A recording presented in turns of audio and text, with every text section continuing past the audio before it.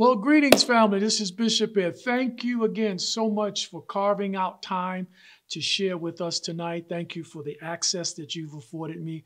Both of them are so valuable in our lives, and we're not going to abuse any of them. So, in respect of the time that we have, let's start with a word of prayer. Let's set the atmosphere right. And let me just say thank you to all of my prayer partners that pray before service, during the service, and even after the service. Thank you so very much.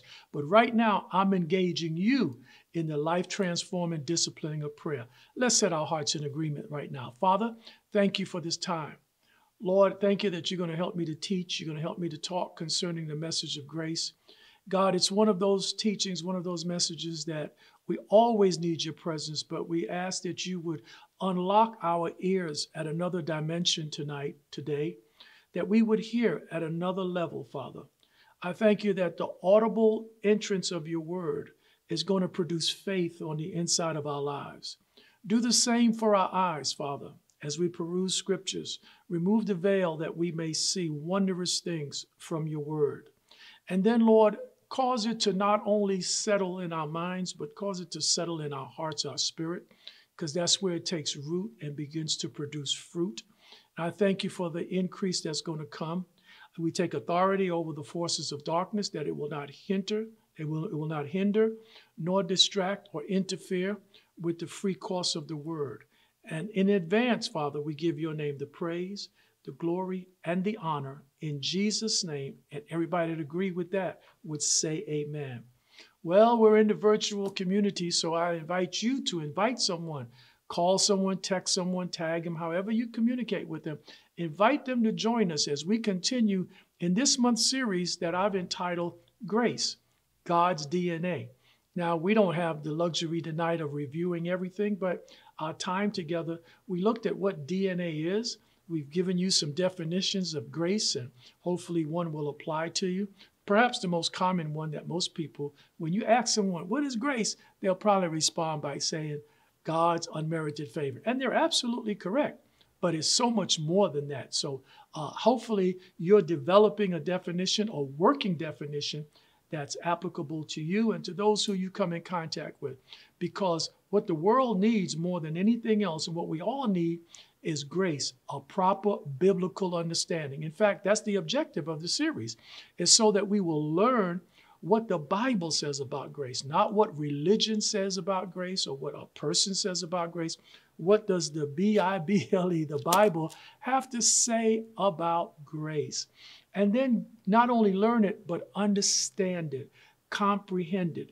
You know, the great sage himself, Solomon, said, In all you're getting, get understanding. And that's what I want for you to receive understanding. As a Bible teacher, a pastor, my job is to get it to you, hopefully, that you will receive it, comprehend it, and then you can do something with it and make a change in your life. Well, hopefully, you've got a Bible with you or a device that has a Bible on it Let's grab it, hold on to it. Repeat this after me. Say, The contents of this book, when received in my heart, will change the contents of my character to conform me to the image of Christ. Amen. I believe it, and I know that you do. Well, our foundational scripture for this month's series is found in the New Testament writings of that talented tan tent maker from Tarshish, the Apostle Paul himself. He writes to the church at Ephesus and in Ephesians chapter 2, we want to look at verse 8 and verse 9. He says in verse 8, reading from the King James Version, he says, For by grace, God's unmerited favor, God's presence in the power and the power in a person's life that enables them to be who he created them to be and to do what he's called you to do. God's unmerited favor. We're given all these definitions. Grace is God God is love and, and grace is love in action. All the definitions fits right there. For by grace you are saved, made whole, made heal is the Greek word there, sozo. And we do it through faith and not of ourselves. It is the gift of God. And we determine that the it refers to not only the faith, but also the grace. It's something that God gives. And it's not of works. In other words, something that we can do because if we do, then we would boast about it. We would say, Look at what I've done, and because I've done this, this is the result of what's going on. And there is a place for work. There is a place for us to do things. I believe that's the connection, and we'll talk about it maybe the next time before this month over. We definitely will address the relationship between grace and faith. I've said it before, but I'll say it again. Grace is God giving, faith is our receiving. I'll say it again. Grace is God's giving, it's what God gives to us. And how we appropriate it, how we receive it, how we're the benefactors of it, it's by faith. And that's what pleases God. When God sees and hears that we know that He's provided something for us and we don't let it lay dormant, but we go after it and you go after it by faith. You don't go after it any other way. You use faith. And the more faith you get, the more ability, the more strength you'll have to receive the provisions of grace. That's a mouthful there, but I hope that you get it. But to today in Bible study, I want to talk to us about the subject matter of getting a grip on uh, what I would call uh, more grace. You know, you ever heard you ever heard somebody say grace, more grace? I have a friend of mine. He's a pastor of the church, and sort of like uh, his buzzword in his church is more grace. Anytime you talk to him, uh, you say somebody or a member of his church, you will always hear them respond by saying more grace. So I want to talk tonight. I want to teach you from the Word of God. How do we get more grace? Because God's grace is unlimited. And maybe you're operating at one level of grace, and God wants you to operate at another level of grace. And so the question becomes, how do I get more grace? Well, we know how faith comes. At least we should know how faith comes. Faith comes, Romans 10 17. So then, faith comes by hearing, and hearing by the word of God. But how do I get more grace? I, am I'm, I'm going to give you five simple points tonight, and um, hopefully you'll get them and you'll develop them and we'll see how we'll get more grace, if you will. So go with me, if you will. First way is, the first thing is, how do we get more grace in our life? We get more grace by faith. It's quite obvious. We get it by faith. Well, go with me in the book of Romans. Romans chapter 1, excuse me, Romans chapter 5, uh, verses 1 and 2. Listen to what it says. It says, Therefore, having been justified by faith, we have peace with God through our Lord Jesus Christ, through whom also we have access by faith, again, we see it again, by faith, into his grace, which in, in which we stand and rejoice in hope of the glory of God. That's Romans chapter 5, verse 1 and 2. So the first way that we get access to more of God's grace, we've been saying it for the longest, but I want to put it in a capsule form so that you'll have it, is by faith the, the, the more faith that you have in your life, the more access you have to God's grace. God's grace is available to all of us. It's unlimited. But some people are operating at different levels of grace. Why? Because of their faith. And so the more faith you get, the more access you'll have to the grace that God makes available to us. Are you getting there? Let me give you an, let me give you another one. Well, we just said it, but I'll give it to you again. Ephesians 2 and 8. For by grace are you saved through faith, and not of yourselves. It is a gift of God. So let me say it to you like this Grace is, is Jesus saying, I provide, because it all comes through Jesus, right? So grace is Jesus saying, I provide. Uh, faith is us saying, I receive. Let me give it to you again. Grace is saying, Jesus provide. Faith is saying, I receive. Grace says, because I love you, I provided for you. Faith says, because you love me, I believe and receive your provisions. Do you understand that? That's very, very important because if not, then, then we're going to get it twisted and we're going to think that God has favorites. And because we see more favor, which is synonymous with grace, we see more favor operating in somebody's life, you might think, well, God loves this person more than he loves that. No, God loves us all equal. But he's a rewarder of those who diligently seek him because without faith, it's impossible to please God. So when he sees you using your faith, he will, he will reward you with more accessibility to the grace that's already available to you and I. That's very, very important. So there's an intimacy, there's a closeness between that. Now, let me take you to Romans chapter 12, verse 3. We're just dealing with the first one. We're talking about faith. Faith is, it gives us access to more grace. How do I get more grace? Well, very familiar scripture. Let's let's look at it in Romans 12, 3. It says, For I say through the grace given to me, there again, I, we cannot get away from the fact that grace is given. Faith receives, but grace is given. And so, so Paul writes again, and he says, For though through the grace that was given to me to everyone who is among you, not to think of himself more highly than he ought to think. That's not having um, you know, what I'll call an inflated and inflated perspective of yourself, being egotistical. You need to think good of yourself, but don't think more highly of yourself than you ought to, because you are what you are by the grace of God. It's not because of anything that you've done, it's because of God's grace. So, like we used to say, don't get the big head about it. So he says, don't think more highly of yourself than you ought to think. You ought to think highly of yourself, but don't over exaggerate it, is what he's saying here. He says, but to think soberly you know what soberly means, not intoxicated or under the influence of the of the popularity and the press of what other people are saying to you. Don't don't don't base your life on that type of thing. But be sober, be clear, be vigilant, be sober as God has dealt to every person the measure of faith.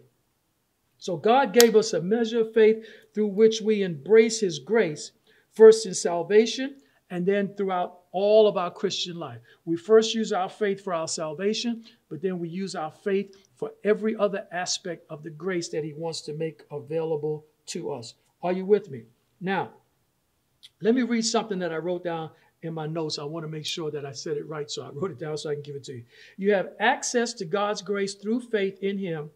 It's like opening a door, it gives you access to a room, but exercising your faith in God gives you access to his grace. So, you know, the door is there and he'll give you access to the room, but you've got to walk through the door. That's your faith. Remember, James says, faith without works is dead. So I'm working my faith to appropriate the grace that God has given to me. That's very important. But don't confuse it because I'm not, I'm not, I'm not working for the grace. I'm exercising my faith so I can appropriate the grace that's already been given to me. That's very important. So the first way you increase your, your grace, the first way you get more grace is through faith. Then the second one is what we're doing here tonight.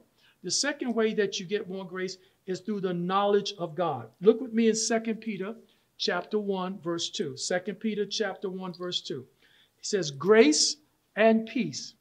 You know, let me just pause right here and say and say something. Grace is connected to everything in the kingdom of God not just our salvation, but every other aspect of our life, we see, we see grace there. And so we're talking about grace and faith. Now he says grace and peace.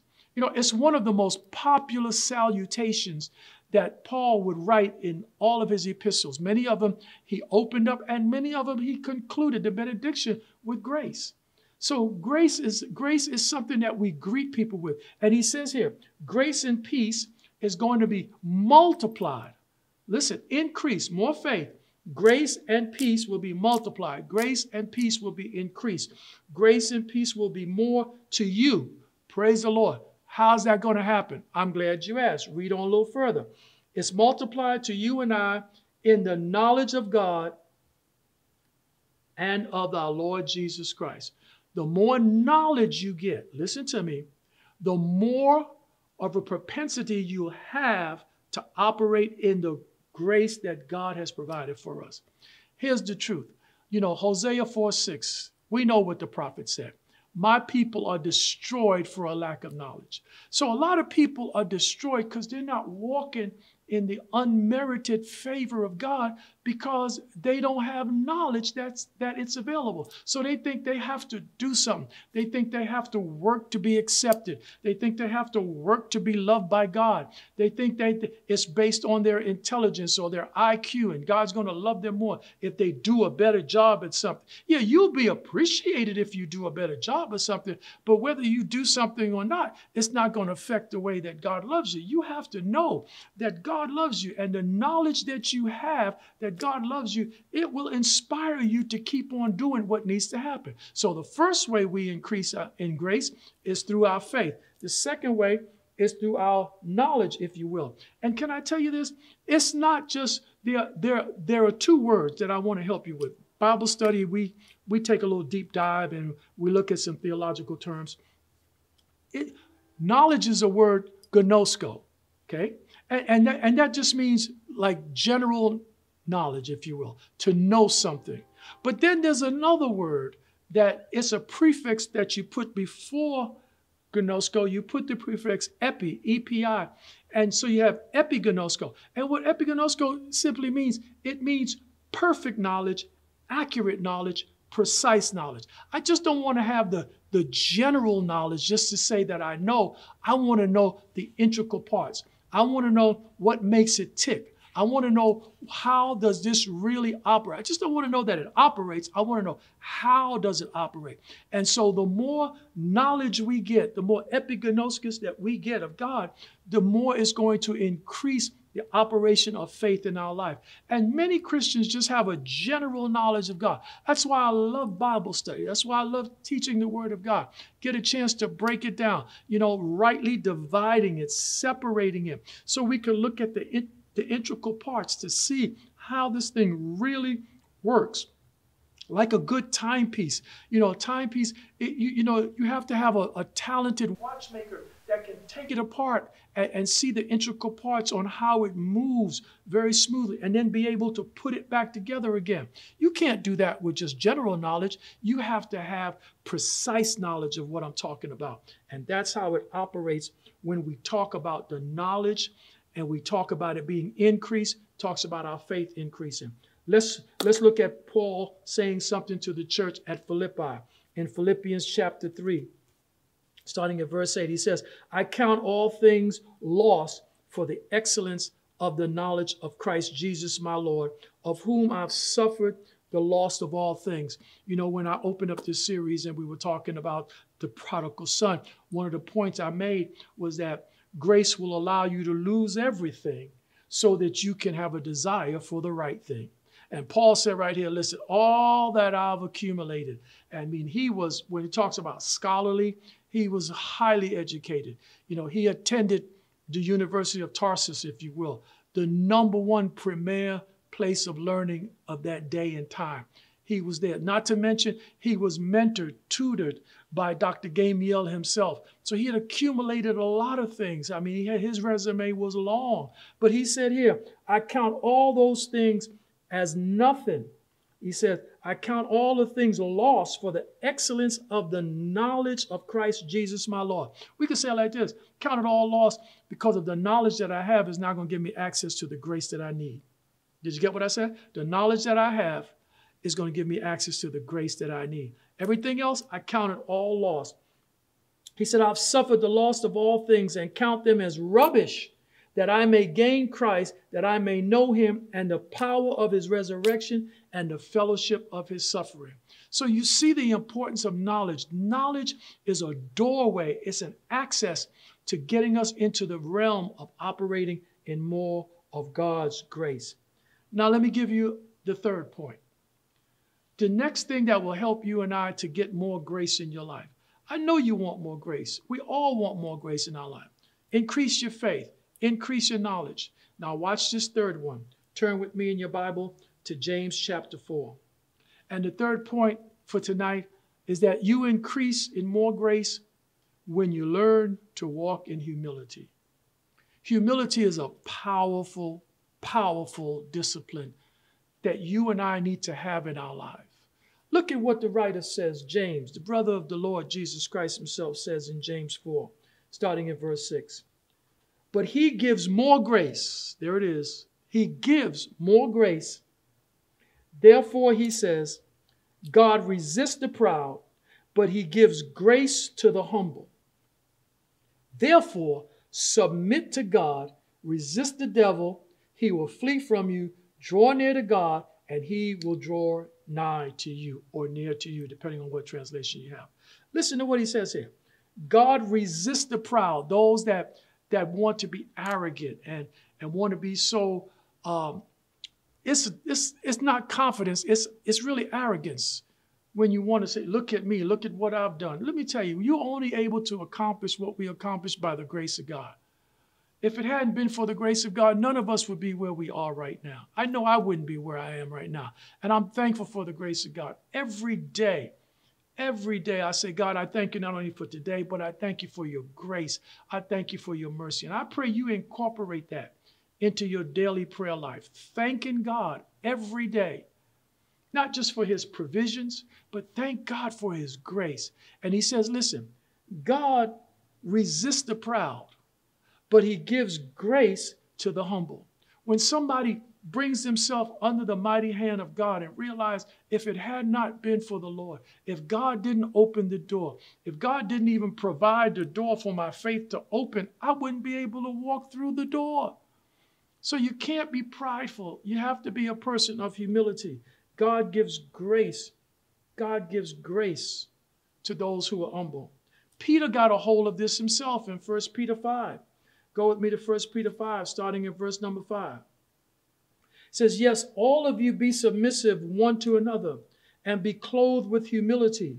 For God resists the proud, but he gives grace to the humble. Therefore, humble yourselves under the mighty hand of God, that he may exalt you in due time. So if you humble yourself under the mighty hand of God, he's going to exalt you. How is he going to exalt you? By allowing more grace to manifest in your life. Remember when we were talking about the DNA of, of God, we talked about the genotype and phenotype. The phenotype is the external phenomena that many people see. And people will recognize the favor of God. They'll recognize the grace of God on your life. And how did you grace how did you get the grace of God? Because you humbled yourself. You put yourself in a place of submitting and humbling to God. You know, when you are a person of humility, you'll submit to the authority. You'll submit one to another. That pleases God, just like faith pleases God. But humility pleases God. And how God rewards your humility is by giving you and I access to more grace in our lives. Are you getting this? So we got to increase our faith.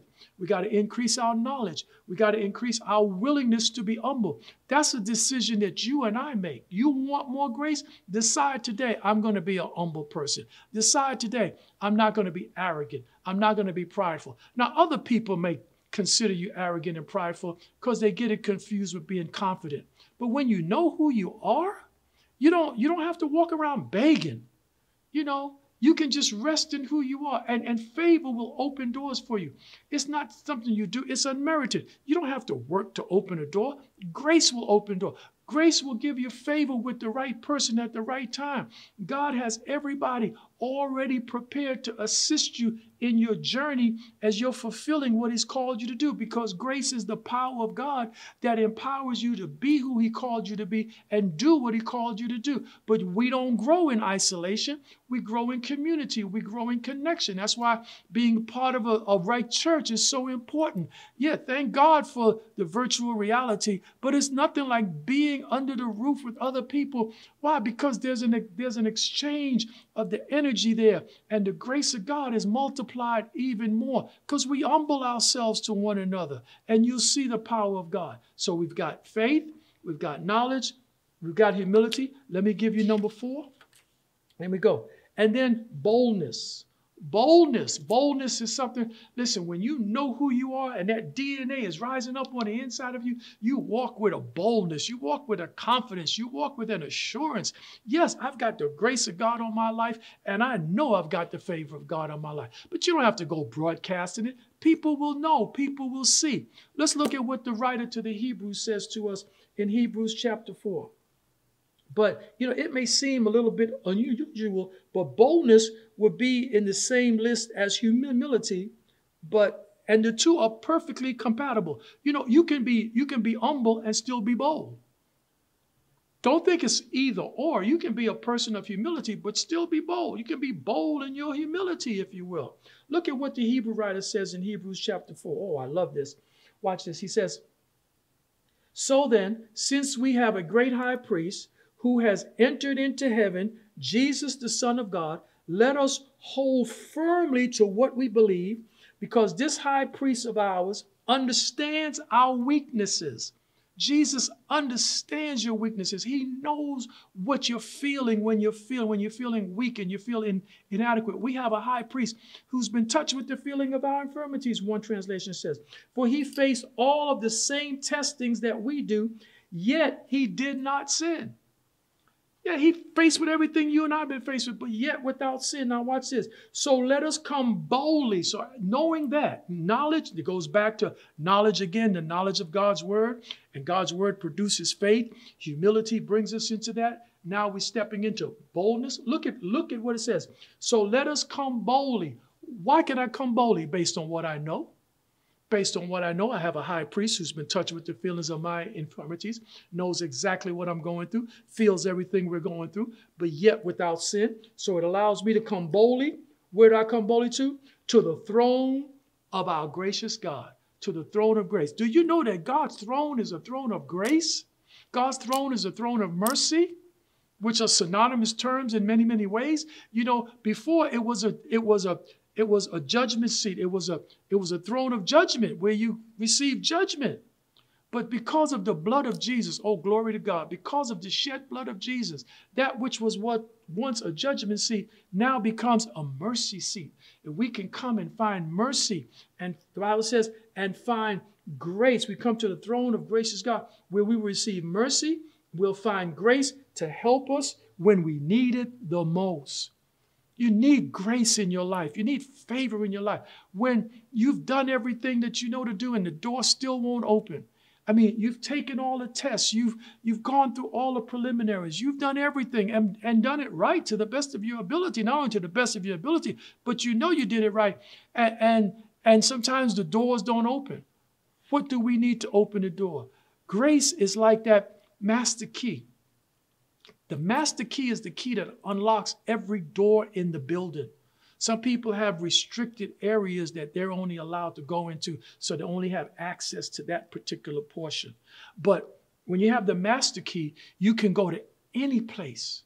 Why? Because you have access to it. And grace gives us access to everything that Jesus Christ, listen to me, died for at Calvary to make available to you and I. Glory to God. We love him because he's a God of grace and he's made it available to you and I. I hope you're getting this. I hope you're getting the fact that grace. That's why the devil frustrates it so much. That's why he tries to pervert it so much. That's why he tries to come in with counterproductive information that says, you know, you've got to do this in order to get that. You got to do this. You got to do. And so now we're trapped in works. Now we're trapped in in production. We have we feel we have to produce something in order to get anything. Sure, I believe you need to work. I believe you need to produce things. Sure, but at the same time, that's not how you get anything from God. You get things from God because of the goodness of His heart. So we're talking about how do we get more more grace. Let's start wrapping this up so that you know. How do I get more grace? How do I increase in, in grace? Number one, I increase through my faith, getting more faith. Number two, through the knowledge, the knowledge of who my Father is, the knowledge of who Jesus Christ is. And can I tell you this? Jesus was talking one day and he told some people, the religious people, he said, You search the scriptures because in the scriptures you think you find eternal life. But what the scriptures does, what the word does, the words testify of who I am. The word of God directs us to Jesus. He was the word made flesh, John 1:14. The word dwelt among us and became flesh. The manifestation of the grace of God is all incumbent in who Jesus Christ is. That's why when you receive him as your savior and call him the Lord of your life, you now have access to the full gamut of the grace of God. You just have to have faith to, so that you can appropriate it. You have to have knowledge to know that it's there. You have to have humility, and then you have to walk in boldness. Are you still here? Look in Acts chapter 4. We're talking about boldness. I have another point, but I want you to see something in Acts chapter 4 as is being descriptive of who the apostles were, which is a type of, of, of individual that you and I need to be. We need to be apostles, we need to be ambassadors for Christ. Look at what it says about the early believers in Acts 4, verse 13. I'm reading from the New Living Translation, if you will. Look at this.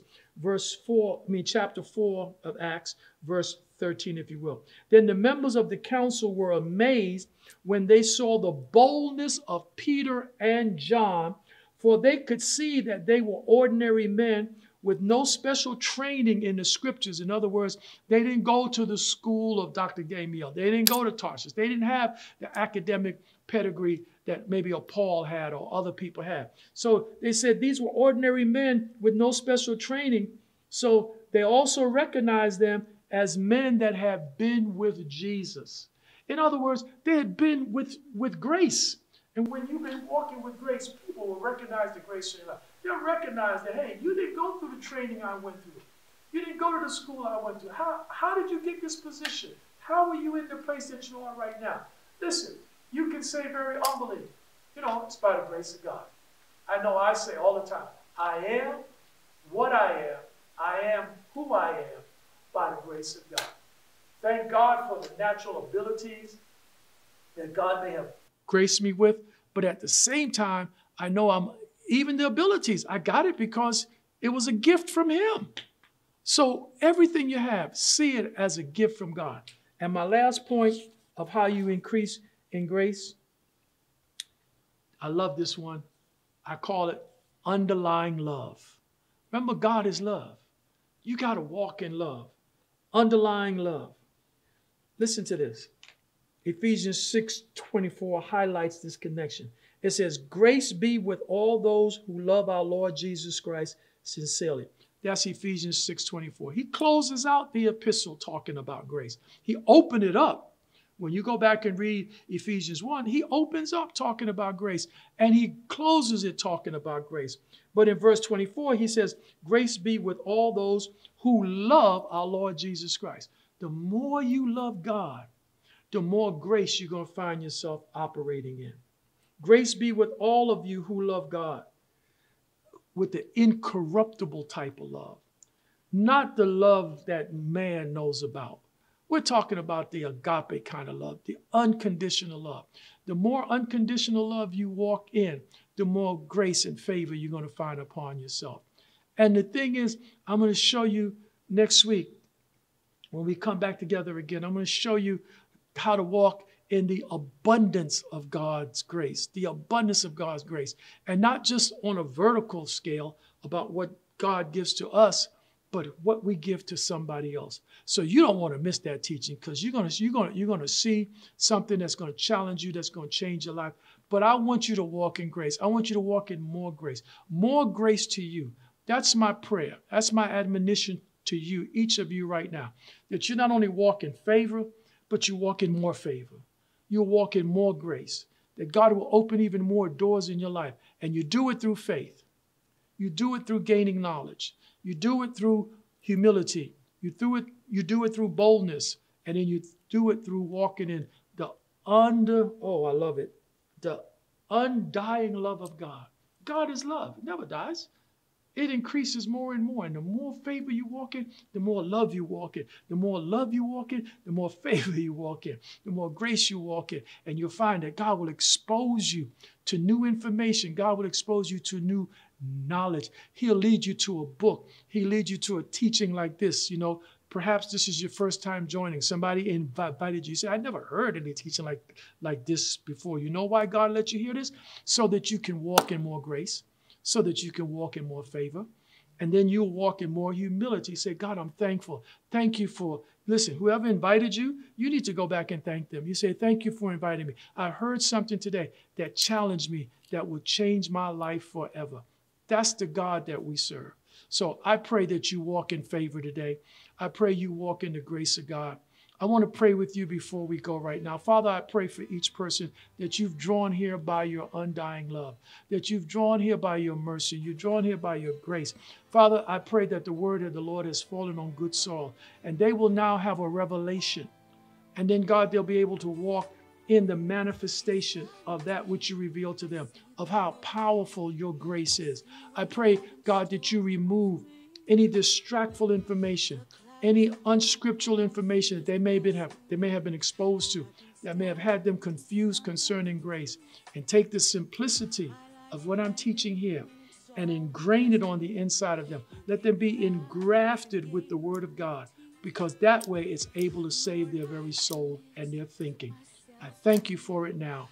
In Jesus' name, amen and amen. Well, let's receive our offering before we go. And of course, we always want to pray for you.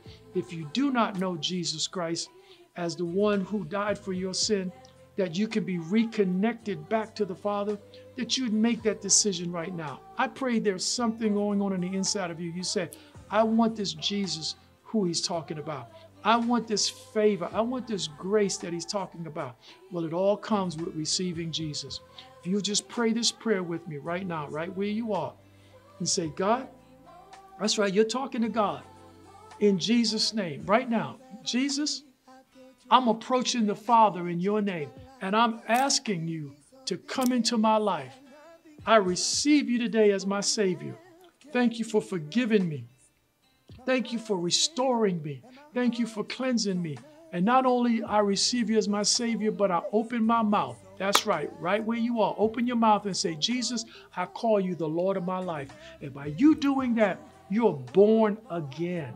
That's the favor of God. That's the grace of God on your life. If you prayed that prayer, you're born again. Let us know. Drop us a line. The email address is there for you. Send us, send us something. We want to give you some information to help you to build your faith. Remember, build your faith, you'll increase in the grace of God. Build your knowledge, you'll increase in the in the favor and the grace of God. And and your love and your humility and your boldness. It all comes. I want to invite you, if you're not a member of Harvest, to be a consider becoming a part of Harvest. Come, you can be in one of our live services, or you can join us the way you're doing it now, virtually because God loves you and we love you too. Listen, it's offering time right now. Let's celebrate. God has given us favor, God has given us grace, but He's also given us seed to sow. And God, I pray now for every person that's getting ready to engage in financial transformation in their life by the sowing of a financial seed, giving back into the kingdom that first gave to us. Thank you for those that are giving their tithe back to the Lord. Now they're going to walk in another realm of revelation, and then they're going to sow the seed, and it's going to cause manifestation to come. I thank you for all your faithful tithers. Thank you so very much. I cannot say it enough. Thank you for your consistency. Thank you for your faithfulness in your giving. Then I want to challenge others of you. You watch us from time to time, but you've never sown. Why don't you consider today to be the day you're going to step out in faith and you're going to give? I want you to give a generous seed. You know what's generous to you. The Bible says that if you sow generously, you're going to reap generously. If you sow sparingly, you're going to reap sparingly. And I believe this that you want a generous return. So you sow a generous seed right now. If you're given by text, you text to 910 463 5889. 910 463 5889. Listen, I'd love to hear from you. We'll love to hear from you. Thank you for partnering with us prayerfully and financially. And so until we get back together again, this is Bishop bidding you Godspeed. I want you to stay strong. I want you to stay focused. I want you to stay safe as well. And remember that Jesus loves you and we love you too. God bless. We'll see you next time.